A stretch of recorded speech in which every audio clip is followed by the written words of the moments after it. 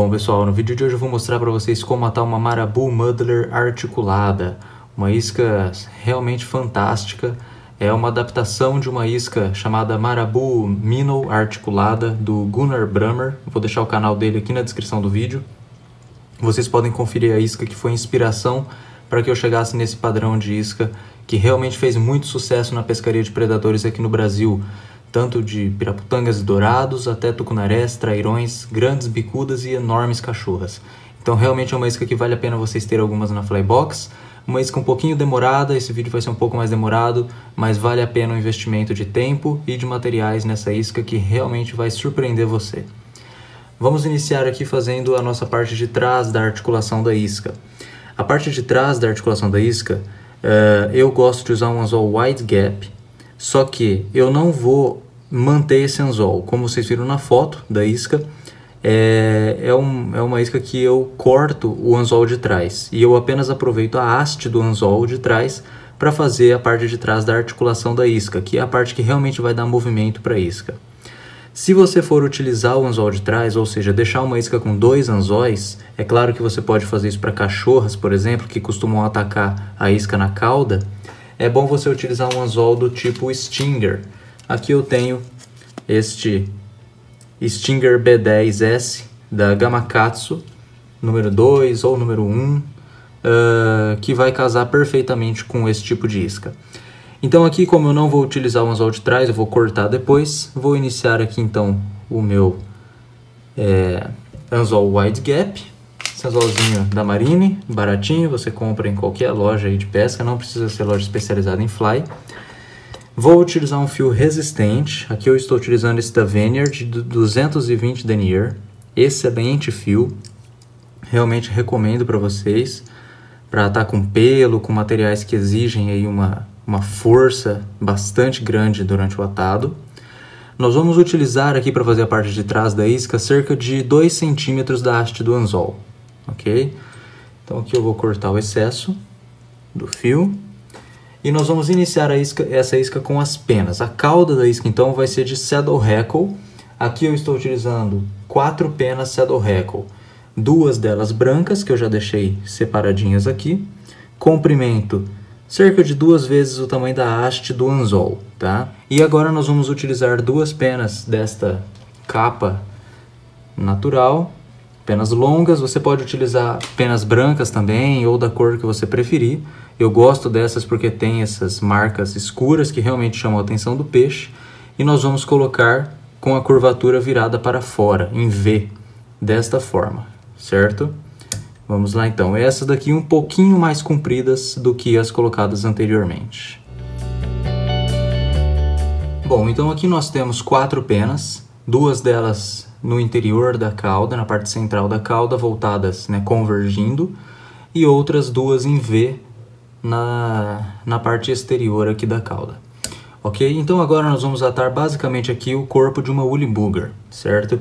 Para isso eu gosto de, de atar primeiro de tudo um arame uh, bem fininho, o qual eu vou utilizar depois para reforçar toda essa cauda, porque ela vai ser alvo de muitas mordidas.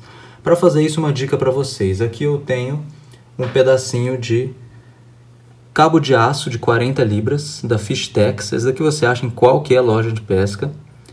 Tá? Esse aqui é de 40 libras. E o que eu faço é pegar este fio e queimar aqui uma pontinha. Observem que a resina ela vai queimando sozinha, vai saindo e até que ela vai queimar completamente. E depois disso nós podemos ir torcendo aqui este arame, porque dentro dele nós temos vários arames bem fininhos que são excelentes para fazer essas, esse tipo de reforço nas iscas. Então aqui eu tenho um fiozinho, vou puxar aqui, e este aramezinho bem fininho nós vamos prender aqui com algumas voltas de fio de atado. Em seguida, eu vou utilizar chenille. Aqui eu estou utilizando o chenille Crystal Flash. Vou mostrar a caixinha para vocês, a embalagem. Esse daqui é do amarelo, mas é, você pode usar a cor que você quiser. Aqui eu estou utilizando pérola. Muito bom esse material da Hairline. Você pode usar também o Cactus Chenille, que é excelente. Então, vamos atar aqui também. nós vamos pegar mais uma pena Saddle Hackle e nós vamos posicionar aqui também da seguinte forma.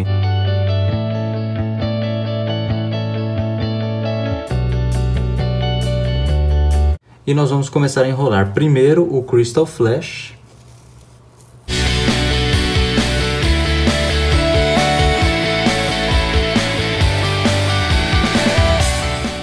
Então nós vamos pegar o nosso Saddle Hackle e vamos começar a enrolar como se fosse uma Woolly Booger.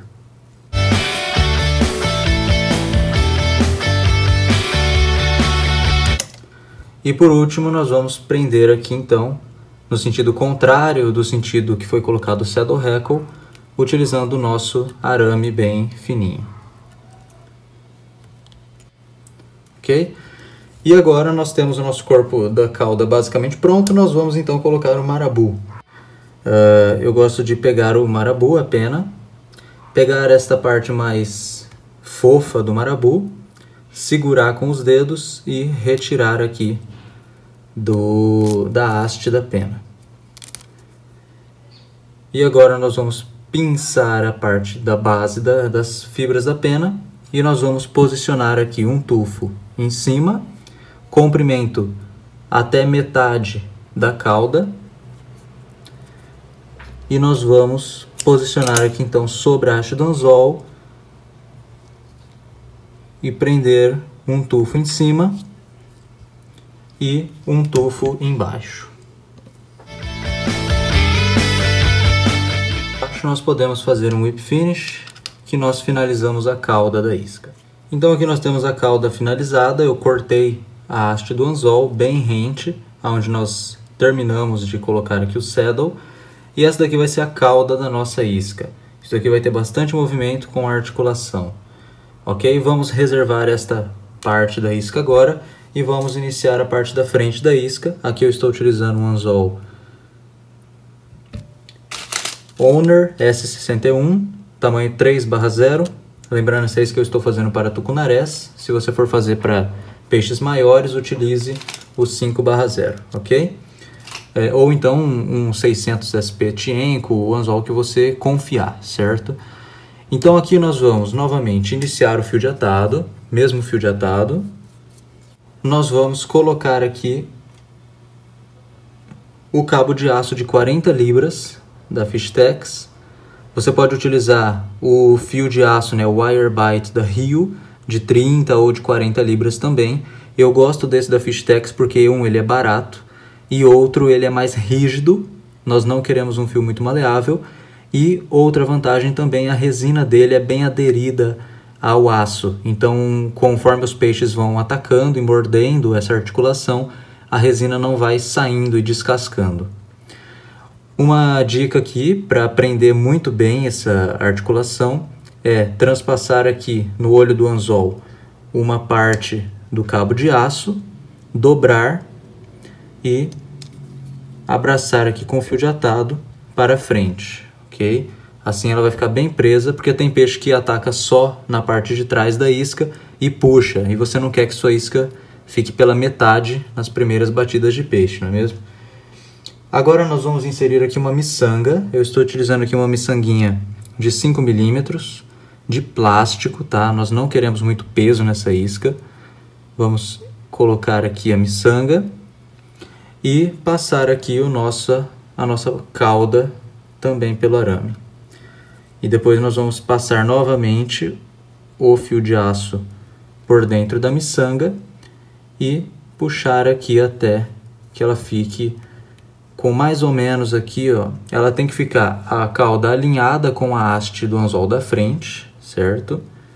E sobrando aqui mais ou menos 2 milímetros nesse loop, que é para permitir bastante movimento na cauda. Eu vou posicionar aqui o cabo de aço do lado do cabo de aço é, da primeira parte do cabo de aço que nós colocamos, dar duas voltas com fio de atado e passar aqui por baixo de novo no olho do anzol. E mesma coisa que nós fizemos anteriormente, dobrar e abraçar tudo aqui com voltas bem firmes de fio de atado Bom, então aqui a cola já está seca, nós temos a articulação da isca finalizada, isso aqui ficou bem resistente, vai aguentar muitas e muitas mordidas. E agora nós vamos finalizar a isca aqui fazendo a parte da frente, o corpo e a cabeça da isca. Para tampar essa articulação, para deixá-la disfarçada, eu gosto de usar mais marabu, ok? Um marabu bem curto, da mesma forma que nós colocamos anteriormente.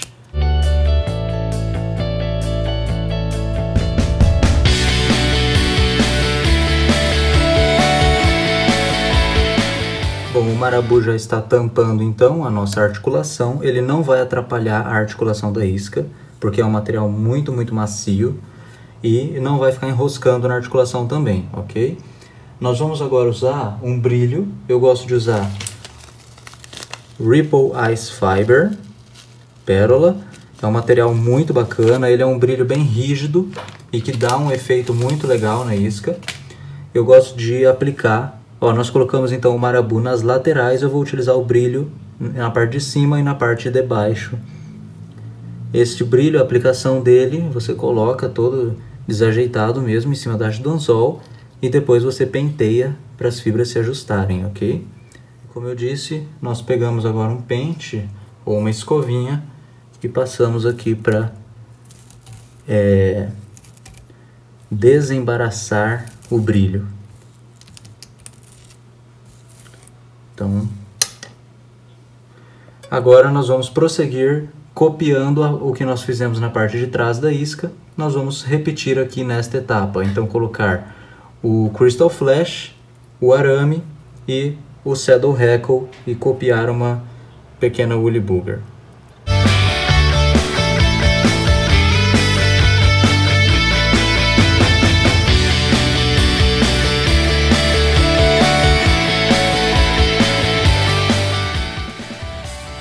E agora nós vamos colocar mais brilho nessa isca.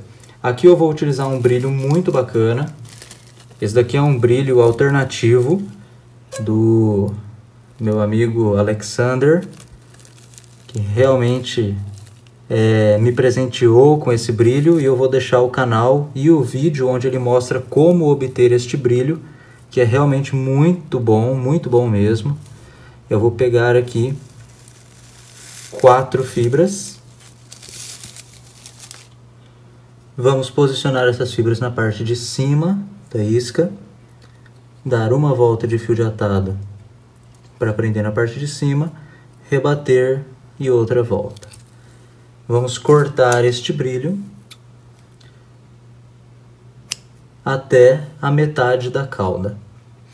E agora nós vamos colocar o nosso marabu um tufo em cima e um tufo embaixo.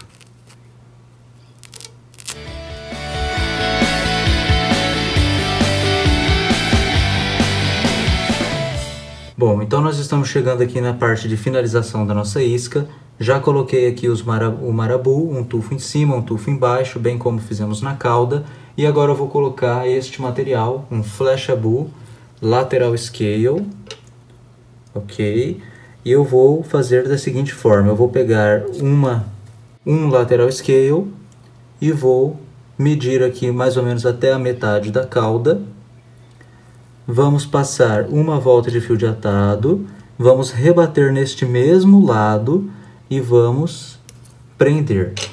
Isso daqui é muito importante, tá, pessoal? Colocar o dobro de lateral scale. Então, nós colocamos dois lateral scales de cada lado, porque quando o peixe começa a bater, a primeira coisa que vai embora é o lateral scale. E assim nós teremos uma isca que vai ser mais atrativa por mais tempo.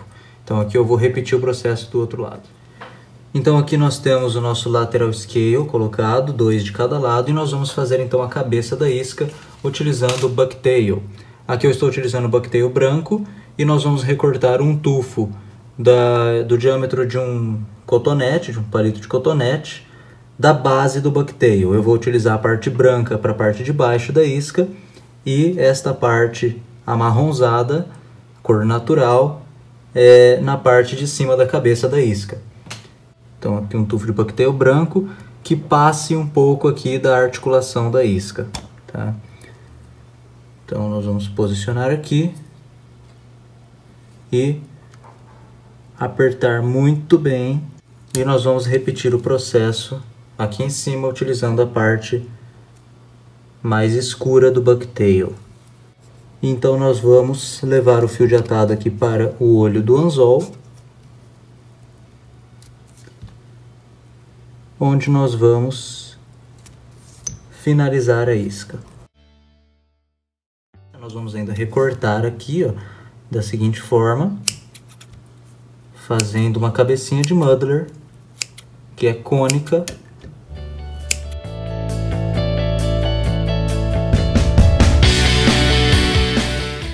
Então aqui nós temos a nossa Marabu Muddler finalizada, uma isca realmente espetacular e que vale a pena vocês terem na flybox de vocês.